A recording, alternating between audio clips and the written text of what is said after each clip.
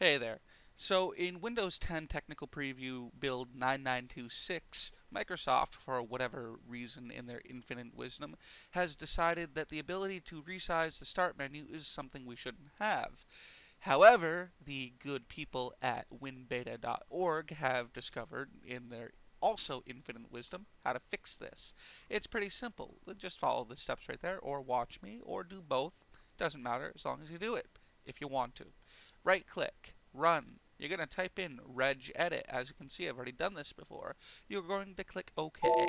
It's going to ask you if you really want to open it up. You're going to say yes. Of course you're going to say yes. Snap that to the side, and then you're going to do the following. Follow this exact path, and you'll have no problem getting there. You're going to open up HKey Current User. Then you're going to open up Software. Then you're going to open up Microsoft. Scroll down a touch. Open up Windows. Windows. There we go.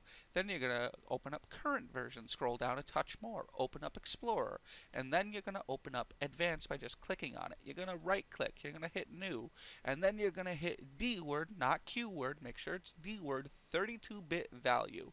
Once you create that, you're going to rename it to Enable XAM I Start Menu.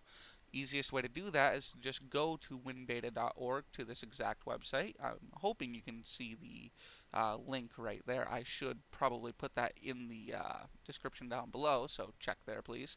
Or better yet, I'll just put this in the description down below. Uh, and you're going to copy it, and then you're just going to rename it, which I already did here right click rename and then you're just going to paste that name into there. And it says restart explorer. What they meant to say was restart the system. I restarted the explorer. It didn't quite work. I restarted the system. Worked fine and it gave me the option to actually play with the start menu a little bit in terms of size and scale if I want, I can also have the live tiles back by just pinning to the start menu, and I can even resize them a touch uh, to medium. I don't know why you'd want large, but some people do. I can't quite find that here, although small works for me.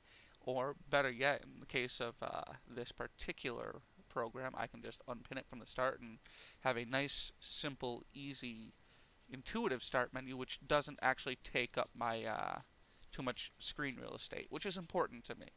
So yeah, that's basically how you do it. Uh, again, uh, thanks to the folks at winbeta.org for figuring that one out. Props to them. I am just giving you a video preview on how to do it. Um, thanks and have a good day.